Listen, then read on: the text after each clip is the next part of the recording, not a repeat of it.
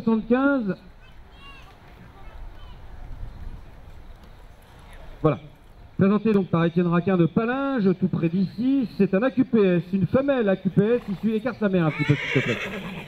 Issue de euh, Joshua un étalon qu'on connaît pas très bien ici dans la région, mais qui fait la monte, qui fait la monte dans l'ouest de la France, au Lyon d'Angers. Joshua Tree aura du grand conjoint, fils de mon jeu, triple gagnant de groupe 1. Il a gagné trois fois la même course, le Canadian International au Canada.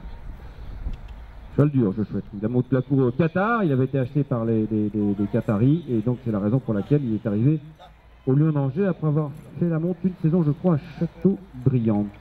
Un AQPS avec une mère par Villeroy, qu'on peut marcher peut-être. Hmm. Euh, qui est frère de...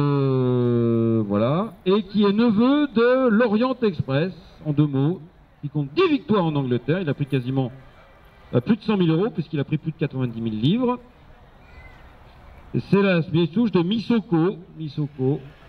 Euh, un cheval élevé par Jean-Louis Berger, qui avait gagné le Morgex sous l'entraînement de Jean-Paul Calorini. Donc au niveau de ses frères et sœurs, Kaline Dumaki pour l'instant a fait trois âge de courir, un placé. Ici, il s'agit de son cinquième produit. On va au trot, oui. Les mâles, le ring des mâles est vide. Donc on attend un nouveau mâle sur le ring galop allié.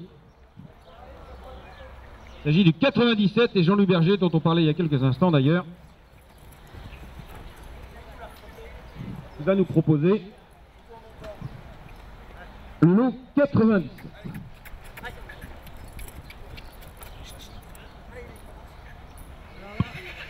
sur le côté. Derrière, ça vient.